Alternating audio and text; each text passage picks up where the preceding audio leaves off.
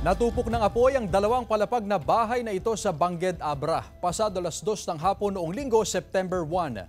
Sa video ni Ives Sibayan, makikita ang mabilis na paglamon ng apoy sa istruktura. Agad ding lumabas ang ilang residente na malapit sa nasusunog na bahay at inilabas din ang mga nakaparadang sasakyan sa compound. Nailigtas ang matandang may-ari ng bahay na mag-isa noon sa unang palapag ng kanilang bahay. Nagmula umano ang sunog sa ikalawang palapag nito na posibleng dahil sa faulty electrical wiring.